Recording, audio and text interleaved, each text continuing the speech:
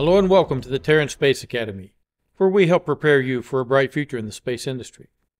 Make sure you stay connected, let us know what you like, and support us on Patreon so we can keep bringing you great lessons on rocket science. Over the last few lessons, we reviewed the performance of the SpaceX Integrated Flight Test 2 and ran some numbers on the evolution of the Raptor engine, as well as giving you a homework assignment. Here it is. Calculate the reduction in residence time from Raptor 1 to the Elite 1337.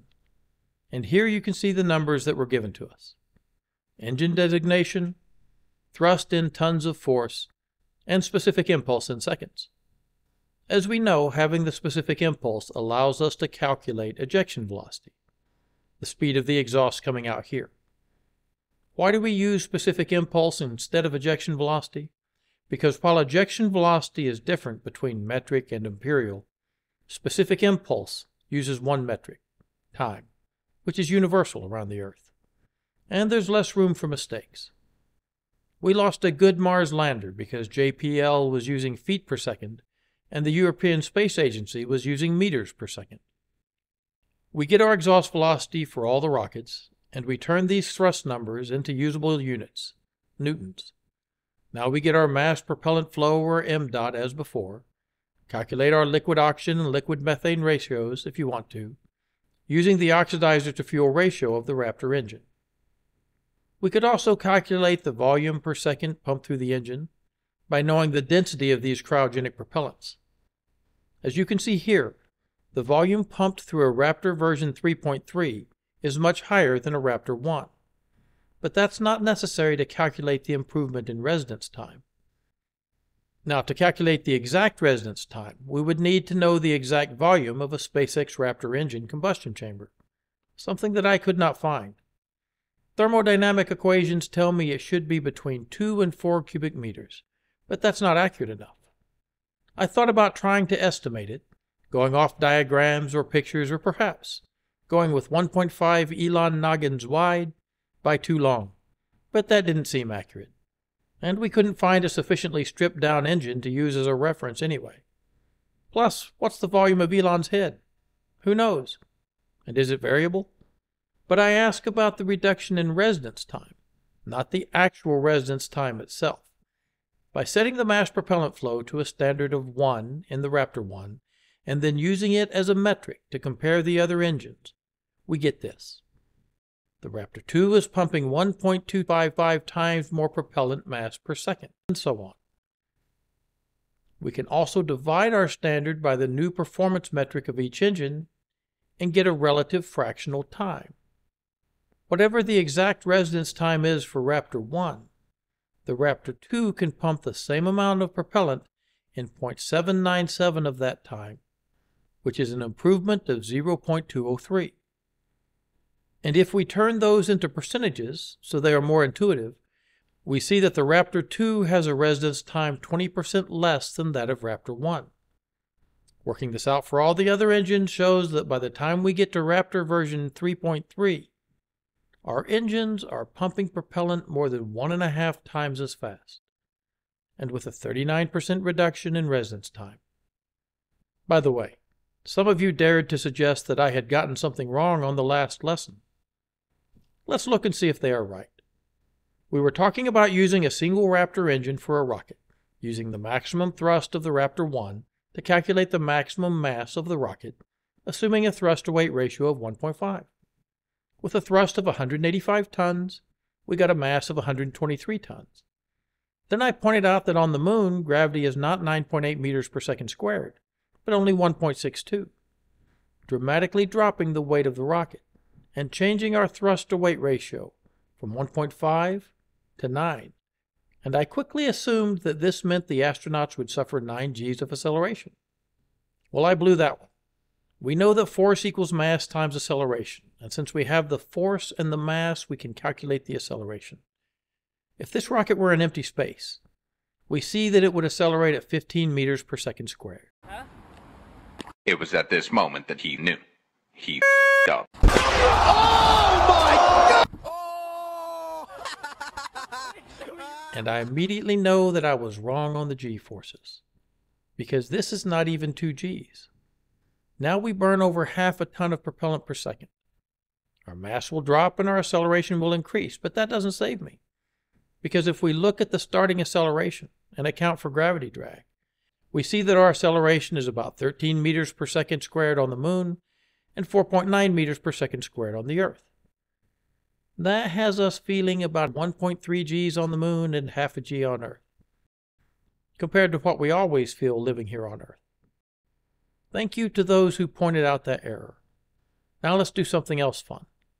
Here you see the Raptor 2 engines on the Starship booster.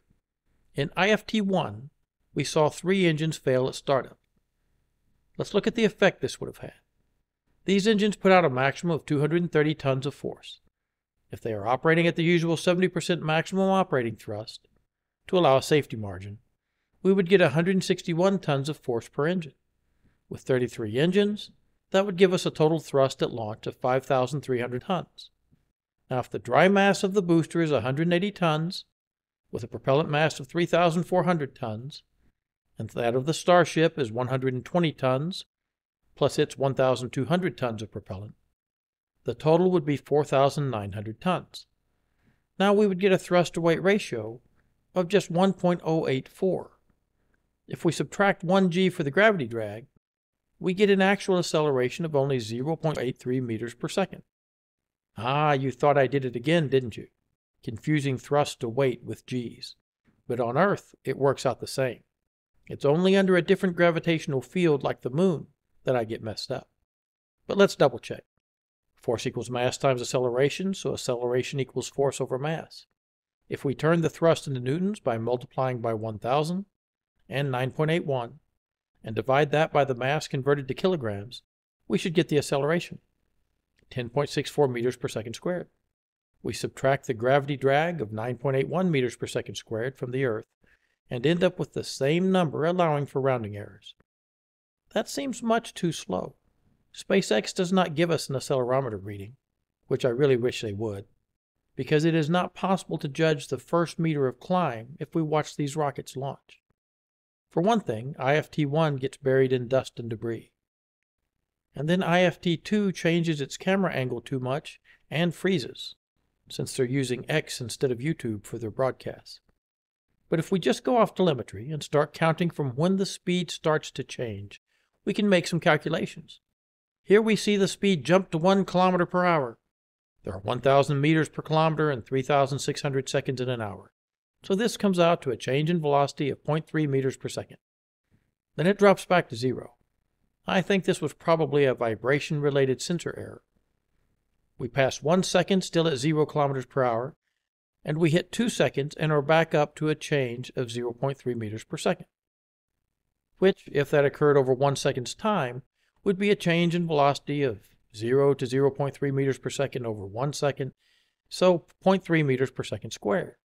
Now, if that were the real acceleration, we could add back gravity drag and get 10.1 meters per second squared. Multiply that by the mass we had earlier and calculate the force. That comes out to 49,430,111 newtons, or 5,039 tons force if we want to look at it that way. This would be a thrust to weight ratio of 1.03. A little anemic, I think.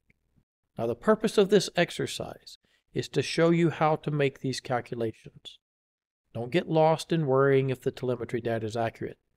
Now, between 2 and 3 seconds, we go from 1 to 11 kilometers per hour, so a change of 10 kilometers per hour, which is 3 meters per second over 1 second, so 3 meters per second squared. We add back in gravity drag and get 12.8 meters per second squared.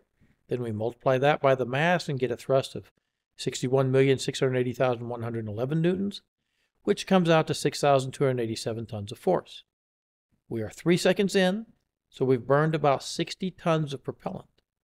Let's subtract that from our starting mass of 4,900,000 kilograms and get 4,840,000 kilograms for our new mass at this point. Accounting for this reduction in mass is important to remember. We practiced calculating mass propellant flow in the last lesson. So assuming a 70% throttle, we would get a loss of over 16 tons per second total for all 33 engines.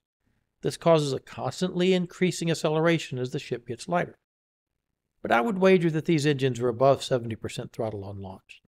SpaceX, after all, wants to field test their rockets under tough conditions. At 85% throttle, they would go through the estimated 20 metric tons per second I mentioned earlier. With that in mind, they can start throttling back the power as the rocket loses mass. Now, over the next 7 seconds, we go from 11 kilometers per hour to 112 kilometers per hour for a difference of 101 kilometers per hour, which is 101,000 meters per hour. We call this delta V or change in velocity. Now we need delta T or change in time. From 3 to 10 seconds gives us a change in time of 7 seconds, which, multiplied by 3600 seconds per hour, gives us a delta T of 25,200 seconds. Delta V over delta T gives us an acceleration of 4 meters per second squared. Add back our gravity drag and we get 13.8 meters per second squared. Now we take our mass of 4,840,000 kilograms and subtract another 140 metric tons or 140,000 kilograms for the propellant burn, and we get 4,700,000 kilograms. We multiply that by our current acceleration of 13.8 meters per second squared and get a thrust of 64,944,302 newtons, which works out to 6,620 tons of force. If we divide that by our current mass of 4,700 metric tons, we get a thrust to weight ratio of 1.41. This is looking better. If your brain hasn't exploded yet, let's look at one more thing. Here we see the booster engines. On the launch of Starship for IFT-1, we saw three engines fail to start. These three. To compensate for this, we can draw an imaginary line here. The moment arm total change from losing these engines must be corrected, or our rocket will go off course. The engines out here have more leverage than the engines closer in, so they place more torque on the ship. The N1 fixed this problem by shutting down the opposite engine. Imagine if SpaceX had used this algorithm, and these engines had been shut down at launch. Now we are out six engines, and even if your rocket had started to climb, it won't have time to rev up the rest before it starts to fall back. Thank goodness they had better software. SpaceX computers do some nice math to increase the thrust of these engines out here first, as that is the most fuel efficient way to correct the problem. It may also turn the thrust out here down a little. Will it roll the ship so that the failed engines are on the pitch over side? I don't know, but it might not be a bad idea to think about. What do you think? Let us know and have a great holiday season. Ad Astra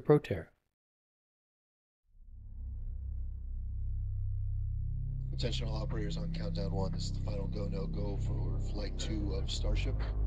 Again, our T zero is at 7 a.m. Central. Raptor one. Go. Raptor two. Go. Stage one. Go. Stage two. Go. Copy. Go for flight. Clock is rolling. 10, 9, 8, 7, 6, 5, 4, 3, 2, 1. We have liftoff.